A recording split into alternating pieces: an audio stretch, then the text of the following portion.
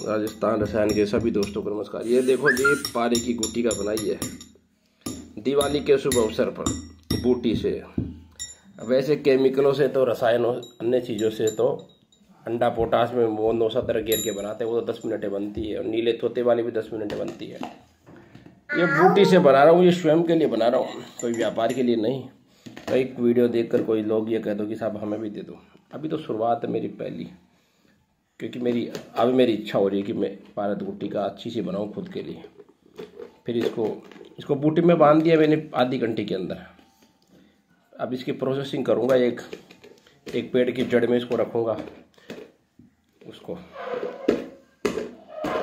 फिर उसके बाद में इस संख्या का दाब बनाऊँगा, फिर इसको पकाऊँगा, फिर ये अक्षरी पारद गुट्टी का बनेगी। बाद दफ़ा क्या होता है? कि माहौल ऐसा बढ़ा रखा है पावर पारद गुटिका में लोगों ने कि साहब पारद गुटिका मुँह में लेते ही साहब लोगों ने ये कह रखा है कि पारद गुटिका मुँह में लेते ही आदमी का फिर ही नहीं होता उसकी टाइमिंग बढ़ जाती है वो बढ़ जाती है। ऐसे कर करके पारद गुटिका का व्यापार हो रहा है। मुझे भी एक बंदे ने पिछले साल कहा था कि साहब कोई बंदा है जो पचास हज़ार में पारद गुटिका देता है। और वो कह रहा है कि मुँह में जब तक तो पचास हज़ार मांग रहा है। मैंने कहा भाई उसको ये कह दो वो पचास नहीं हम एक लाख देंगे। जब तक ये मुँह में रखी जाएगी जब तक हम फ्री नहीं हो यानी आदमी डिस्चार्ज ना हो और पहाड़ पर भी चढ़ सकता है थकान नहीं है। जैसे उसने ये बात कही तो उसने अगले ने कह दिया नहीं साहब ये तो कायाकल्प करती है। कोई ये पूछे कायाकल्प क्या होते हैं भाई? बस ऐसे होते हैं बात। भारत बूटी का बनाना कोई बड़ी चीज़ नहीं दस मिनटें बनती है। असल चीज़ होती है ना वो बूटी से बने आगे जाके वो काम करे वो चीज़ है। अब मैं भारत गुटी का कोई व्यापार नहीं करता हूँ। अब ये बना रहा हूँ ना पहली बार। वैसे तो मैंने उस्तादों के हाथों से, संतों के हाथों से खूब देखी है बनाना। ये बूटी से बना रहा हूँ स्वयं के लिए एक। जो मैं यहाँ कह रहा हूँ ना, वही पर्सनल में है कि लोग बाग मुझे पर्सनल में आगे पूछे कि साहब हमें दे दो। नहीं सब मेरे पास देने के लिए नहीं, सिर्फ़ अकेले के लिए बना रहा हूँ। जैसे मैंने भी पिछली बार वो एक तेल बनाया था कि साहब वो काले बाल करता है, ठीक है? तो मेरे कम कम तीन चार सौ लोगों ने मैसेज कर दी साहब अभी दो। मैंने कहा, अभी ट्रायल नहीं किया। अब मैंने ट्रायल एक बंदे पर किया, उसको एक महीने तक, उसका जहाँ तक, उसको एक महीने में यह हुआ कि उसके साथ हमने जो अर्क लगाया, उसमें होम्योपैथी का डायलोसन डाला था, ताकि ख़राब ना हो। और तो और वो तेल वो बंदा लगाया। तो एक तो तीन टाइम लेना था अर्क तो दो टाइम ले रहा था। फिर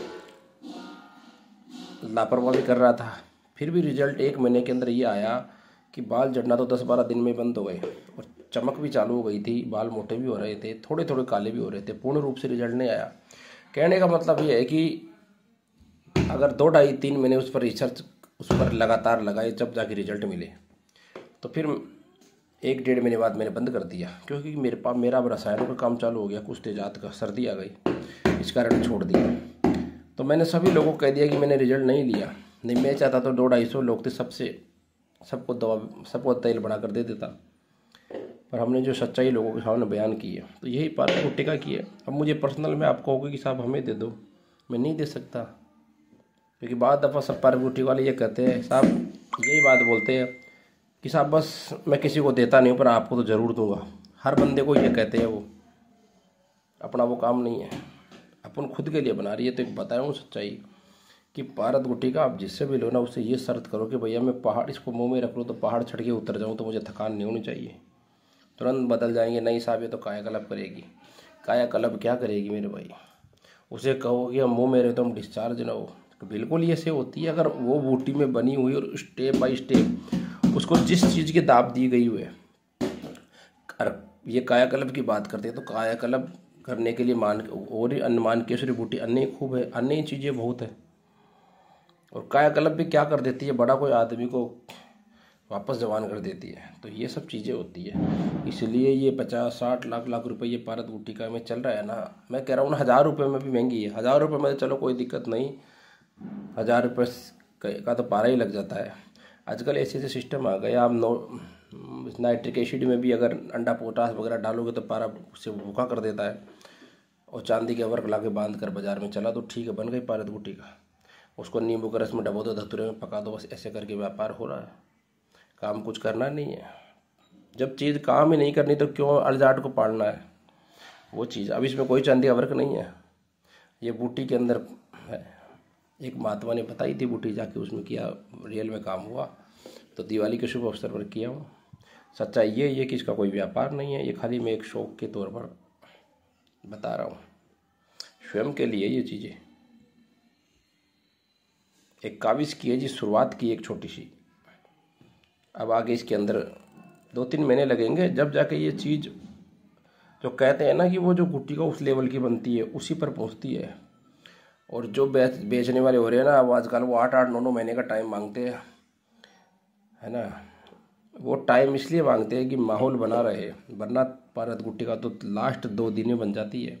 दस मिनट में गुट्टी का बनती है और बाकी होती है, वो काम नहीं करती है। ये सच्चाई है जितनों ने भी पारत गुट्टी का पेन रखी है ना तो वो बता दो मुझे कि उन्होंने उसके अनुरूप रिज़ल्ट लिया क्या? नहीं मिलता है। ठीक है, इसके नाम पर बड़ा बड़ा व्यापार है, बड़ी मोटी रकम ली जाती है, पचास हज़ार से नीचे नहीं देते कोई इसको। मैंने तो आज तक कभी पारित गुट्टी का व्यापार किया ही नहीं, क्योंकि मैं तो जानता हूँ सब कुछ हूँ यानी ये चीज़ निर्माण कर रहा हूँ तो खुद के लिए कर रहा हूँ कि चलो करते रहेंगे। ठीक है राजस्थान रसायन के सभी दोस्तों को नमस्कार।